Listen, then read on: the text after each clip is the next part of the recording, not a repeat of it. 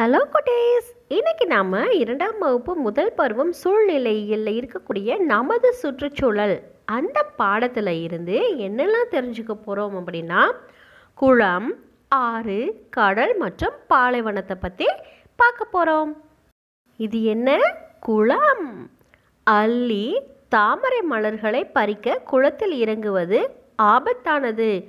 அள்ளி தாமரை பூவெல்லாம் நம்ம குளத்தில் இறங்கி பறிக்கணும் அப்படின்றது ரொம்பவும் ஆபத்தான விஷயம். அதனால உள்ளே இறங்கி அந்த பூக்களை எல்லாம் பறிக்கக்கூடாது. இங்கே இந்த குளத்தை சுற்றி என்னென்ன இருக்குது பாருங்கள் பாறை இருக்குது ஆமை மீன் தவளை கொக்கு நண்டு. இது எல்லாமே குளத்தை சுற்றிலும் இருக்கக்கூடியது. சுலைமான் அப்படின்ற பையன் இப்போ பேசுகிறான் நான் என் ஊரில் உள்ள குளத்தை பற்றி பேச விரும்புகிறேன். சுலைமான் அப்படின்ற பையன் அவங்க ஊரில் இருக்கக்கூடிய குளத்தை பற்றி பேச போகிறானாம் குளம் என்பது நீர் சேகரிக்கும் இடம். குளத்தில் என்ன இருக்கும்? தண்ணீர் இருக்கும்.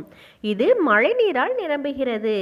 மழை பெய்யும் போது நிறைய தண்ணி வருதுல்ல அந்த தண்ணீரால தான் வந்து இந்த குளமே நிரம்புது. மீன் பூச்சி பாம்பு தவளை நண்டு ஆமை போன்றவை குளத்தில் வாழ்கின்றன. குளத்தில் என்னென்னலாம் வாழுது? மீன் பூச்சி பாம்பு தவளை நண்டு ஆமை. அல்லி தாமரை போன்ற மலர்களும் குளத்தில் காணப்படுகின்றன. குளத்தில் என்னென்ன பூக்கள் இருக்கு? அல்லிப்பூ தாமரை பூவெல்லாம் இருக்கு. குளத்தை விட ஏரி பெரியது. குளம் வந்து சின்னதாக இருக்கும். அதை விட ஏரி ரொம்ப பெருசாக இருக்கும். கீழே கொடுக்கப்பட்டுள்ளவாறு மீன் வரைந்து வண்ணம் தீட்டுக. உங்கள்கிட்ட புக்கு இருந்துச்சு அப்படின்னா நீங்கள் இதில் கொடுத்துருக்க மாதிரி ஒவ்வொரு ஸ்டெப்பாக வரைஞ்சி இந்த ஃபிஷ்ஷுக்கு கலர் பண்ணுங்க. இந்த படத்தில் கொடுத்துருக்காங்கல்ல இதுதான் ஆறு மற்றும் கடல். ஆறு கடலில் போய் சேருது. எல்லா ஆறும் கடலில் போய் சேர்றனால தான் கடல் ரொம்ப பெருசாக இருக்குது இப்போ நாம் ஆறை பற்றியும் கடலை பற்றியும் பார்க்கலாமா? சுல்தானா அப்படின்ற பொண்ணு ஆறை பற்றி பேச போகிறா நான் ஆற்றின் அருகே வாழ்ந்து வருகிறேன் சுல்தானா அப்படின்ற பொண்ணு ஆற்று பக்கத்தில் வாழ்ந்துகிட்டு இருக்கலாம் பாய்ந்து செல்லும் ஆற்றை பார்ப்பது எனக்கு மிகவும் பிடிக்கும். ஆறு எப்படி போகுதான் பாய்ந்து போகுதான் அப்படி பாய்ந்து போகிற ஆற்றை பார்க்குறதுக்கு அவளுக்கு ரொம்ப பிடிக்குமாம். ஆறு மலையில் தொடங்கி ஒரு வழித்தடத்தை ஏற்படுத்தி கொண்டு இறுதியில் கடலில் கலக்கிறது. ஆறு எங்கே இருந்து ஆரம்பிக்குது? மலையில் இருந்து ஆரம்பித்து கடலில் போய் முடியுது. ஆற்று நீர் நமக்கு பல வழிகளில் பயன்படுகிறது. ஆற்று தண்ணி இருக்குல்ல அது நமக்கு நிறைய யூஸ்ஃபுல்லாக இருக்கு. இதன் காரணமாகவே பழங்காலத்தில் மக்கள் ஆற்றின் அருகே வாழ்ந்தனர். இது நிறைய நமக்கு பயனுள்ளதாக இருக்கனால பழங்காலத்தில் இருக்கக்கூடிய மக்கள் என்ன பண்ணாங்களாம்? அவங்க இந்த ஆற்றின் கரையோரமாக தான் வந்து வாழ்ந்து வந்திருக்காங்க. பல வகை மீன்கள் நண்டுகள் மற்றும் பறவைகள் ஆற்றிலும் ஆற்றை சுற்றிலும் வாழ்கின்றன. நிறைய உயிரினங்கள் வந்து ஆற்றுக்குள்ளேயும் இருக்குது ஆற்றை சுற்றி இருக்கக்கூடிய பகுதிகளையும் இருக்குது சில நேரங்களில் ஆற்றில் படகு போட்டிகள் நடத்தப்படுவது உண்டு இப்போ நீங்கள் கேரளாலெல்லாம் பார்த்தீங்கன்னா படகு போட்டியெல்லாம் நடத்துவாங்க. என் சகோதரர்கள் இந்த படகு போட்டியில் விருப்பத்துடன் பங்கேற்பார். இந்த சுல்தானா அப்படின்ற பொண்ணோட சகோதரர்கள் வந்து இந்த படகு போட்டியில் ரொம்ப இன்ட்ரெஸ்டோடு வந்து பார்ட்டிசிபேட் பண்ணுவாங்களாம்.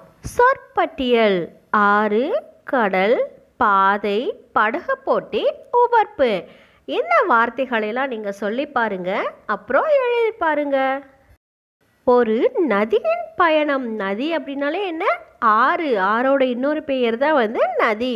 அது எங்கேருந்து ஆரம்பித்து எங்கே போய் முடியுதுன்னு பாருங்கள் இங்கே மலையில் இருந்து தொடங்கி அப்படியே வந்து கடலில் வந்து சேருது. மலையில் தொடங்கி கடலில் சேர்றது தான் வந்து ஒரு ந நதியின் பயணம். நம்ம இப்போ எங்கேயாவது ஊருக்கு போகணும் அப்படின்னா நம்ம நம்மளுடைய வீட்டில் இருந்து கிளம்பி எங்கே போக வேண்டும் எங்கே போகணுமோ நம்ம அங்கே போய் சேரோம்ல அது நம்மளுடைய பயணம். இப்போ இந்த நதி என்ன பண்ணுது? மலையில் தொடங்கி கடலில் வந்து சேருது. அப்போ அதை பயணம் பண்ணி தானே வந்து அது கடலில் சேருது. அதனால தான் இதை நதியின் பயணம்னு சொல்லியிருக்காங்க. இப்போ கோபால் அப்படின்ற பையன் கடலை பற்றி சொல்ல போகிறான் நான் கடற்கரையோரத்தில் வசிக்கும் ஒரு மீனவ குடும்பத்திலிருந்து வருகிறேன். கோபால் அப்படின்ற பையன் எந்த குடும்பத்திலிருந்து வரானா? மீனவ குடும்பத்திலிருந்து வரானாம். கடல் என்பது மிக அதிகளவு நீரை கொண்ட பெரிய நீர்நிலையாகும். இருக்கிறதுலே நிறைய தண்ணீர் எங்கே இருக்குது கடலில் தான் இருக்குது கடல் நீர் உவர்ப்பாக இருக்கும். கடல் நீரை நீங்கள் வாயில் வச்சு டேஸ்ட் பண்ணி பார்த்துருக்கீங்களா? அது ரொம்ப உவர்ப்பாக இருக்கும். நாம் கடலில் இருந்து உப்பை பெறுகிறோம். கடல்லிருந்து தான் நமக்கு உப்பு கிடைக்குது. தாவரங்கள் மீன்கள் ஆமைகள் இறால்கள் மற்றும் நண்டுகள் போன்ற உயிரினங்கள் கடலில் வாழ்கின்றன. கடலில் என்னென்ன விலங்குகள் என்னென்ன உயிரினங்கள்லாம் இருக்குது அப்படின்னா மீன் தாவரங்கள் ஆமைகள் இறால்கள் மற்றும் நண்டுகள். நாங்கள் கட்டுமரம் படகு மீன்பிடி வலையை பயன்படுத்தி மீன் பிடிக்கிறோம். இந்த கோபால் அப்படின்ற பையன் உங்கள் ஃபேமிலி எப்படி வந்து மீன் பிடிக்குதாம்? கட்டுமரம் படகு மீன்பிடி வலைகளை பயன்படுத்தி அவங்க மீன் பிடிக்கிறாங்க. நீங்கள் பீச்சுக்கெல்லாம் போனீங்க அப்படின்னா அங்கே நிறைய படகுகள்லாம் இருக்கும். அப்புறம் வலையும் இருக்கும். அதெல்லாம் பயன்படுத்தி தான் அவங்க போய் கடலில் மீன் பிடிக்கிறாங்க. நாம் சிப்பியில் இருந்து முத்தை பெறுகிறோம். நமக்கு முத்தி எங்கேருந்து கிடைக்குது? சிப்பியில் இருந்து கிடைக்குது. நீங்கள் பீச் சைடெல்லாம் போனீங்க அப்படின்னா நிறைய சிப்பிகள்லாம் கீழே கிடக்கும். பொருத்தமான கட்டத்தில் டிக் குறியிடுக. ஆற்று நீர் உவர்ப்பானது. ஆற்று நீர் உவர்ப்பானதா? இல்லை. கட்டுமரம் மீன் பிடிக்க பயன்படுத்தப்படுகிறது. கட்டுமரத்தை மீன் பிடிக்கத்தான் பயன்படுத்துகிறாங்க அதனால் ஆம். ஆறு கடலிலிருந்து தொடங்குகிறது. கடலில் இருந்தால் தொடங்குகிறது? இல்லை. மலையிலிருந்து தொடங்கி கடலில் முடிகிறது. அதனால் இல்லை. மீன்கள் ஆற்றில் மட்டுமே வாழும். மீன்கள் எல்லா தண்ணி இருக்க இடத்துலையும் இருக்கும். அதனால ஆற்றில் மட்டும் வாழாது அதனால இல்லை. ஆமைகள் கடலில் வாழும். ஆம் ஆமைகள் கடலில் வாழும். ஆற்று நீர் விவசாயத்திற்கு பயன்படுகிறது. ஆம் ஆற்று நீரை பயன்படுத்தி தான் அதிகமாக விவசாயம் பண்ணுறாங்க இப்போ நாம் பாலைவனத்தை பற்றி பார்க்கலாமா? பாலைவனம் அப்படின்றது நிறைய மணலாக நிறைந்த பகுதி தான் பாலைவனம். சொற்பட்டியல். பாலைவனம் மணற்பாங்கான அமைதி மணற்குன்று கள்ளிச்செடி. மேவாராம் அப்படின்ற பையனும் கமலா அப்படின்ற பொண்ணும் இப்போ பாலைவனத்தை பற்றி பேச போகிறாங்க நாங்கள் பாலைவன பகுதியிலிருந்து வருகிறோம். இந்த மேவாராமும் கமலாவும் எங்கேருந்து வராங்களாம்? பாலைவன பகுதியிலிருந்து வராங்களாம். பாலைவனம் ஒரு வெப்பமான மணல் நிறைந்த பகுதி. அங்கே மழையே இல்லாதனால அந்த இடம் எப்போவுமே சூடாகவே தான் இருக்கும்.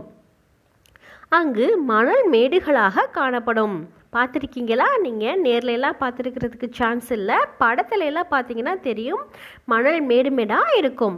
அதனை மணற்குன்றுகள் என அழைக்கிறோம். அந்த மாதிரி மணல் மேடுகளாக இருக்க பகுதி எப்படி சொல்கிறாங்களாம் மணற்குன்றுகள். கள்ளிச்செடிகள் பாலைவனத்தில் காணப்படுகின்றன. மற்ற தாவரங்களுக்கெல்லாம் தண்ணீர் ரொம்ப அவசியம். ஆனால் கள்ளிச்செடிக்கு தே தண்ணீர் தேவையில்லை. அது குறைந்த அளவு தண்ணீர் இருந்தாலே போதும். அதனால தான் கள்ளிச்செடிகள் பாலைவனத்தில் இருக்குது இவை குறைந்த அளவு நீர் இருந்தாலே வளரும். கொஞ்சம் தண்ணி இருந்தால் கூட போதும் இந்த கள்ளிச்செடி வளரும். பாலைவனத்தில் ஒட்டகங்கள் பயணம் செய்வதற்காக பயன்படுத்தப்படுகின்றன. எதுக்காக வந்து அதை பயன்படுத்துகிறாங்க அப்படின்னா மணலாக இருக்குல்ல? மணலாக இருக்கனால மக்களால் அதில் நடக்க முடியாது. காலெல்லாம் ரொம்ப வலிக்கும். நீங்கள் பீச்சுக்கு போனாலே வந்து மணலில் நடக்கிறது ரொம்ப கஷ்டமாக இருக்கும். ஆனால் பாலைவனன்றது எவ்வளோ பெருசாக இருக்குது அதில் போய் நம்ம நடந்தால் நடக்க முடியுமா? முடியாது. அதனால தான் ஒட்டகத்தை பயன்படுத்துகிறாங்க ஒட்டகத்துக்கு கால்கள் நீளமாக இருக்கனால அது பாலைவனத்தில் பயணம் செய்கிறதுக்கு ரொம்ப வசதியாக இருக்கும். எனவே இது பாலைவன கப்பல் என அழைக்கப்படுகிறது. பாலைவன கப்பல் அப்படின்னு எதை சொல்கிறாங்க ஒட்டகங்கள். பாலைவனத்தில் மிக குறைந்த அளவே நீர் கிடைப்பதால் நாங்கள் நீரை சிக்கனமாக பயன்படுத்துகிறோம். பாலைவன பகுதியில் வந்து அதிகமாக மழை பெய்யாது. கொஞ்சம் தான் தண்ணி கிடைக்கும். அதனால அங்கே இருக்கவங்கெல்லாம் தண்ணியை ரொம்ப சிக்கனமாக பயன்படுத்துகிறாங்க மாநாட்டின் இறுதியில் அனைத்து மாணவர்களும் பிற மாணவர்களின் வாழிடத்தை பற்றி தெரிந்து கொண்டதால் மகிழ்ச்சியாக இருந்தனர். இந்த மாநாட்டை பத் இந்த மாநாட்டில் மற்ற மாணவங்க எங்கெங்கெல்லாம் வாழ்ந்துக்கிட்டு இருக்காங்க அவங்களுடைய இடம் எப்படியெல்லாம் இருக்குது அப்படின்றத எல்லாரும் தெரிஞ்சுக்கிட்டதுனால ரொம்ப சந்தோஷமாக இருந்திருக்காங்க. அவை அனைத்தும் இயற்கையின் ஒரு பகுதியாக இருப்பதை புரிந்து கொண்டனர் இது எல்லாமே இயற்கையோட ஒரு பகுதி தான் வருகை புரிந்த அனைவரும் இயற்கையை பாதுகாப்போம் என உறுதிமொழி எடுத்துக்கொண்டனர் அந்த மாநாட்டிற்கு வந்திருந்த எல்லாருமே என்ன இப்போ உறுதிமொழி எடுத்துக்கிட்டாங்களாம்? இயற்கையை பாதுகாப்போம் அப்படின்னு உறுதிமொழி எடுத்துக்கிட்டாங்களாம். நாமும் இயற்கையை பாதுகாக்க உறுதிமொழி எடுத்துக்கொள்வோமா? இப்போ பாருங்க. ஒட்டகத்தால் அதிக அளவு நீரை ஒரே நேரத்தில் குடிக்க இயலும். நம்மளால் வந்து நிறைய தண்ணியை ஒரே நேரத்தில் குடிக்க முடியாது. ஆனால் ஒட்டகம் என்ன பண்ணுமா? நிறைய தண்ணியை ஒரே நேரத்தில் குடிச்சிக்குமா? நீரும் உணவுமின்றி ஒட்டகத்தால் பல நாள்கள் உயிரோடு வாழ முடியும். அது மொத்தமாக எல்லா தண்ணியும் குடிக்கிறதுனால அது உடம்புல அந்த தண்ணியை சேர்த்து வச்சுக்கும். அதனால ரொம்ப நாளைக்கு அதனால சாப்பாடும் தண்ணியும் இல்லாமல் வாழ முடியும். பாலைவனத்தில் மட்டும் காணப்படுபவை யாவை? அவற்றிற்கு வண்ணம் தீட்டுக. இங்கே நிறைய விலங்குகளும் செடிகளும் கொடுத்துருக்காங்க. நாம் இது பாலைவனத்தில் எது இருக்குமோ அதுக்கு மட்டும் இப்போ கலர் பண்ணலாமா? பண்ணியாச்சு. பொறுத்துக. பாலைவனம் ஒட்டகம் சமவெளி பசு காடு சிங்கம் குளம் மீன். நில அமைப்புகளை அவற்றின் பெயர்களோடு கோடிட்டு இணைக்க. முதல் படம் என்ன? குன்று. இரண்டாவது படம் ஆறு. மூன்றாவது படம் காடு. நாலாவது படம் சமவெளி. ஐந்தாவது படம் கடல். ஆறாவது படம் பாலைவனம். சரியானவற்றை சா என்றும் தவறானவற்றை தா என்றும் குறிக்க. குன்றுகளில் படி விவசாயம் நடைபெறுகிறது. சரி. குதிரையை பாலைவன கப்பல் என அழைக்கிறோம். தவறு. ஒட்டகம்தான் பாலைவன கப்பல். சிங்கமும் புலியும் காட்டில் காணப்படும். சரி. காட்டில் மணற்குன்றுகள் இருக்கும். தவறு பாலைவனத்தில் மணற்குன்றுகள் இருக்கும். வகைப்படுத்துக. காட்டில் என்னென்னலாம் இருக்கும்? புலி யானை மான் மரம். குளத்தில் என்னென்ன இருக்கும்? வாத்து நீர் தாமரை மீன். பாலைவனத்தில் என்னென்ன இருக்கும்? ஒட்டகம் கள்ளிச்செடி மணல். அடைப்புக்குறிக்குள் உள்ள சொற்றொடர்களை பயன்படுத்தி தொடர்களை முழுமையாக்குக. காடு மரங்கள் நிறைந்தது. கடல் உப்பு நீரை கொண்டது. ஒட்டகம் அதிகளவு நீரை ஒரே நேரத்தில் பருகும். குளம் ஏரியை விட சிறியது. குன்றில் பாடி விவசாயம் நடைபெறுகிறது. எனக்குடேஸ் இந்த வீடியோவில் நீங்கள் குளம் ஆறு கடல் பாலைவனத்தை பற்றி தெரிஞ்சுக்கிட்டீங்களா? இதே போல் இன்னும் இன்ட்ரெஸ்டிங்கான வீடியோஸ் உங்களுக்கு வேணும் அப்படின்னா மறக்காமல் சப்ஸ்கிரைப் பண்ணுங்கள் டாடா பை பாய்